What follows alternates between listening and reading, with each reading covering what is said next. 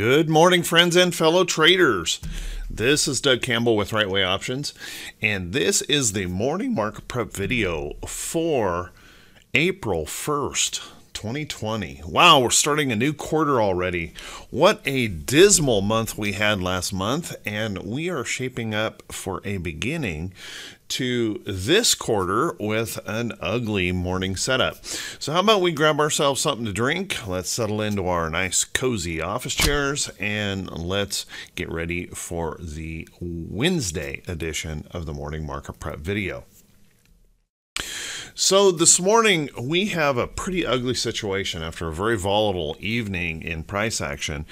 And if you haven't caught the news, you know, the president um, came out with some pretty dire um, comments yesterday, um, grim comments yesterday. Um, White House health officials are now predicting U.S. death tolls could reach over 100,000, uh, even up to as much as 240,000 deaths. And the president mentioned that the next two or three weeks are likely going to be very, very difficult for the country. Um, that certainly didn't uh, wasn't received all that well by the market, as you might suspect, with our numbers continuing to rise here in the country, it's getting pretty evident that um, no no action by the FOMC or the federal government is going to buy our way out of this pandemic crisis. Um, as much as they try, um, and they keep pouring money into the market, it's not going to solve um, the health crisis that we're seeing here in the United States. The really only thing we can do is um, continue the lockdown to protect spreading the virus around and those kind of things. And obviously, that's having massive impacts to business. One of the proofs that these actions are not um, solving our problem is in the mortgage applications. Uh, those mortgage application numbers this morning came in showing a decline of 24%. It's like, wow. Um, even though we have historically low interest rates, folks aren't out shopping for houses um, in a situation where um, they're locked down and more concerned about their food supply and how they're going to make it through the next couple of weeks without income, with so many folks uh, being unemployed. And yet, this morning, later this morning, we're going to get another a deluge of of economic data and who knows how that may actually affect the market going forward. One of those being the ADP jobs number, which I think everyone expects will be pretty pretty grim um, on its face. Um, as of this morning, we have 188,639 infections. Over 4,059 people have died which means that the coronavirus is now larger, a larger problem than even the 9 11 attacks on the United States. And if we reach into those 100,000 uh, numbers in death toll, um, this is going to get pretty serious pretty quickly. And the impacts to companies are going to be brutal. So the president said the next couple, three weeks are going to be really rough for the country. And unfortunately, that means we're going to cover this period of time in here for some really challenging times, likely for the market. And then we enter second quarter earnings season, which I don't think too many people are expecting to be um, too rosy. So um, we've got a rough market ahead. One of the things I want to suggest is, uh, particularly the remainder of this week, um, this is going to be a very dangerous and very volatile market as all of these data points continued uh, to come out this week um, could be some pretty shocking and even historically significant numbers that could uh, that the market will have to face um, for the remainder of the week. So be very, very careful. Now, having said that, let's take a look at what the technicals of the charts are showing us and whether or not um, this is something you even want to be involved in. And yesterday I mentioned how important it was to, to be careful. And it's so easy to get lost in the price action of the chart. I'm going to go to the Dow, um, the actual Dow index, and just show you if if I measure, um, and, and if you look over here on the left side when I measure this, there will be um, an indication of the numbers. And as you can see, if I measure from the high right here and just measure down to the price support of this little consolidation in here, where we might want to place a stop loss, we're looking at a huge decline on the Dow, 1,200 points. And so we kind of lose perspective in the massive volatility that we see in this market. A 1200 point shift, how many people have risk tolerance for that kind of thing? Um, and it looks like it the candles here look pretty uh, pretty normal, but we kind of forget about the massive volatility that we see in this market. Um, because these candles are so huge and sweeping. And so we have to be very, very careful. Even here on the diamonds from yesterday's high, as I was kind of warning yesterday to be careful, be very careful. You know, we're looking at substantial declines here in the diamonds. We're looking at some very rough price action possibilities.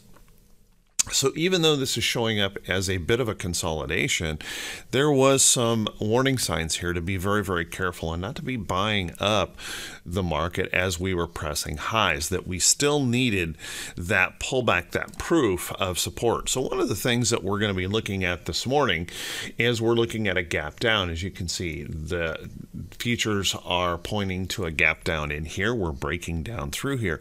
Now, that can be a good thing. As bad as that looks, that could be a good thing if the bulls step in here and we find some support. Remember, one of the patterns that we look for, that we need in a market to find a trend, this is not a trend a trend is only created after we find that higher low price support somewhere in here that we bounce off of. So if we were to pull back in here and bounce off, then we have a successful test of support and a possible trend, and then possibly some good price action can occur.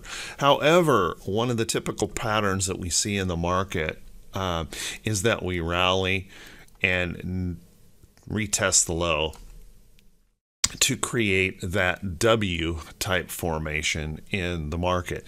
Another pattern that we could easily see um, with the, you know, very grim stuff that the president talked about yesterday, we could easily see a formation that comes in where we actually make a new low and then we have an inverted head and shoulders pattern. So very typical um, bottoming pattern.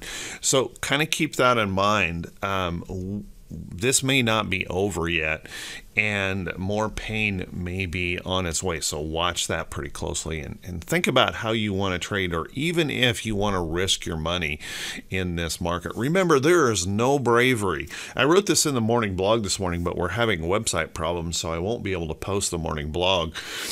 But if um, if you were able to read it, what I wrote is there's no bravery. There's no medal for bravery for running into the danger of very highly volatile price action.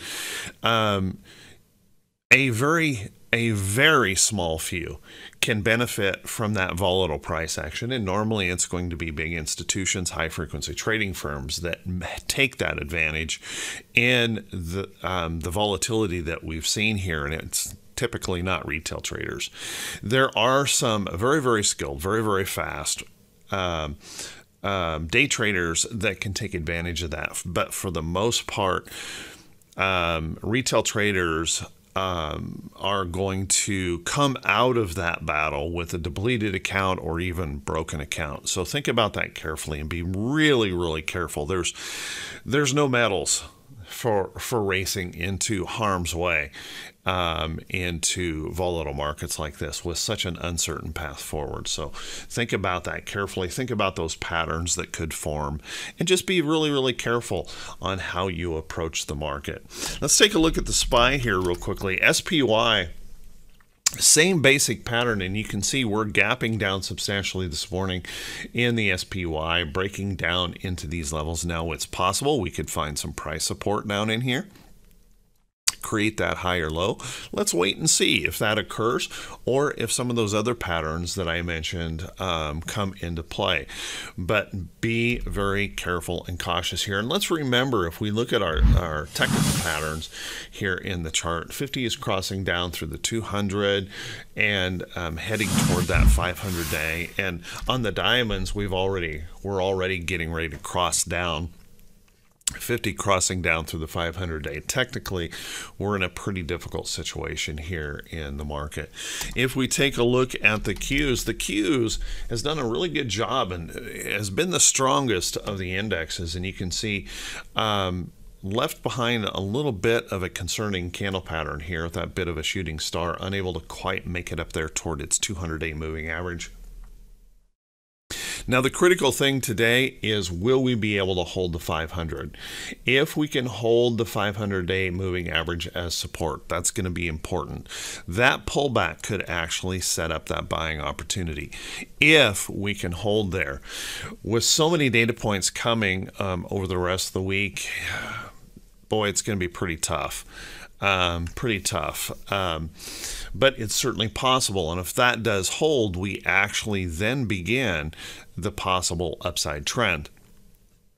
But I would watch that pretty closely because I think there still is that possibility that we seek out um, uh, a retest of this low and who knows, maybe even lower over the next few weeks. So be very, very careful here, guys.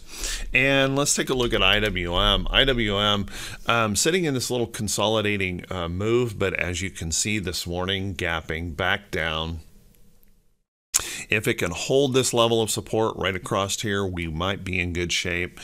Um, we'll have to wait and see with the jobs data and everything coming out. Um, that may might be wishful thinking. We'll have to we'll have to just keep an eye on that price action and decide after we see uh, if those bulls are going to defend or if they're going to run away scared.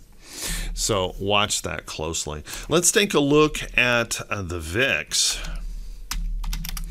You know, and I've been talking about this on the VIX, how the VIX has been a little bit perplexing in the fact that we rallied so much in the market um, 15, 18 plus percent um, in the indexes, and we saw very little pullback here um, overall in the VIX. And yesterday we did get a little bit of a push down here in the VIX, but I suspect this morning um, we're going to see the VIX gapping up, maybe up into here, maybe even higher. And who knows after those jobs numbers what we may see, but kind of look for that uh, VIX to start indicating a little bit more fear coming into the market. We'll have to keep a close eye on that and be really, really careful how you approach this market today. It could, we're just going to see highly volatile price action as these data points come out. Um, let's take a look at T2122. Now, T2122, I mentioned this uh, the other day. It was such a nice relief to see this rallying up here toward that midpoint.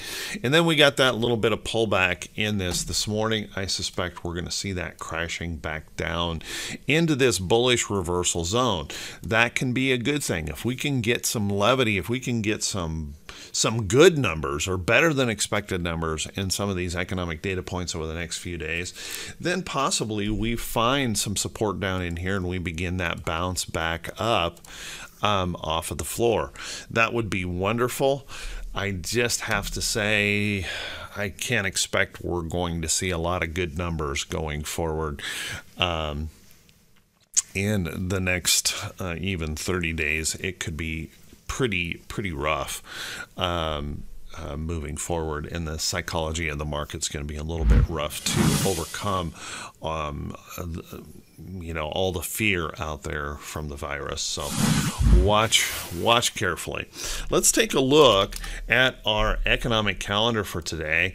And this is where we're really going to see some pretty interesting fireworks uh, possibly today. We've already got the mortgage applications this morning um, with a decline of 24% um, it's like holy cow we we drop interest rates to zero or near zero, and then mortgage applications fall by 24%. Pretty rough um, for the market. Next report out here, 8:15 this morning, 8:15 Eastern time, is going to be that ADP employment report.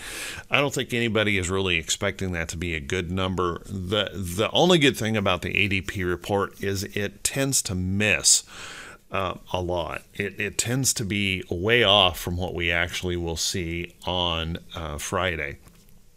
But uh, we can probably expect this to be a shocking number. Um, we already saw last week our unemployment number hit 3.2 million um, um, in applications, and ADP is probably going to reflect. Um, um, job creation sinking like a rock. Um, so watch that closely this morning.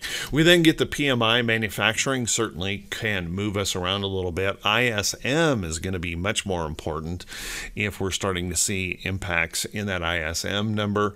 Construction spending, of course, could be uh, suffering here just a little bit as everyone is being locked down. Who's building a house right now or spending money um, on um, construction spending?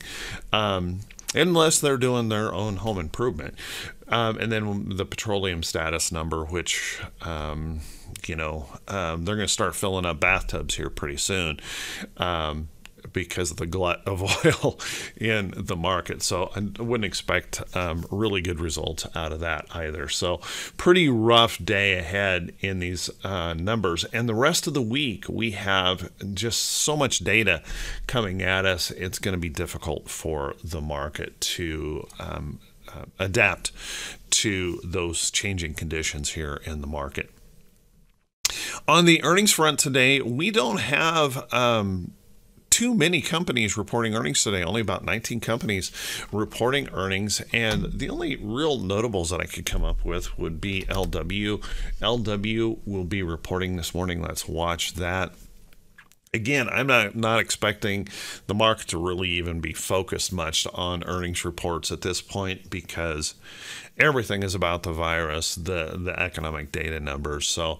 Um, I don't know. Um, I, I wouldn't expect to get much impact um, out of any of these re- reports. And then uh, PVH is the only other one that I could see that has much in the way of notability um, in the market. And I suspect very few people are going to notice. So, with that, everyone, hey, couple places. Well, if you guys could help me out, I, I, it's it's hard in markets like this to ask for a favor because I, everybody's just feeling so glum, and I and I understand that. But you know, if we stand aside, if we protect our capital, if we don't jump into this market, if we don't risk our capital, and we let the market settle out, if we let the institutions, the big guys, the high frequency trading firms, let's let them sort out the bottom, and if we protect our capital and we wait, there'll be great opportunities when this is over. But we've got quite a distance to go before this is going to be over. So protect yourself, protect your capital. There's no shame in standing aside.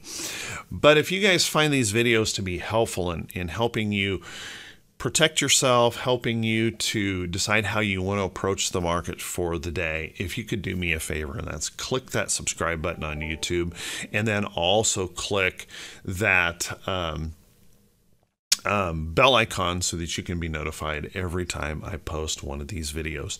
And I truly, truly appreciate that. And, and if you feel the video is worthy, if you feel it was helpful at all, please click that thumbs up button and leave a brief comment. That helps us continue to, to grow.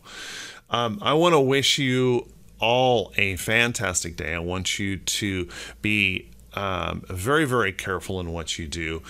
There are some places that you may go to find some relative safety. Um, you know, one of the things that I saw yesterday is uh, some of the gold stocks like Newmont Mining.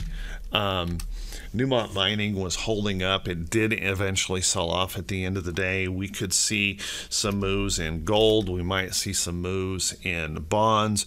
But I got to tell you guys, um, it's a pretty dangerous market. And if you trade options as I do, it's extremely dangerous with the high implied volatility, the wide bid ask spreads, and the low open interest that you see on a lot of these uh, stocks. So I think today is kind of um, to uh, today is going to be a a crapshoot um, at best um, as we wade through all of these data points. The volatility could be extremely wild, and I don't want to give you the impression that it could be all down. We could get some better than expected numbers and whip back up, but it's still going to be very, very challenging price action. So, as I speak um, right now, Dow futures are pointing to a gap down of more than 750 points. Be very careful, everyone. Protect yourself, protect your capital, protect yourself from this virus follow the rules, follow the guidelines. Don't think that we're just going to fly right through this. This is going to be a rough process. Everyone, take care. I wish you all the best. Stay safe, and we'll see you right back here bright and early Thursday morning. Have a good one, everyone.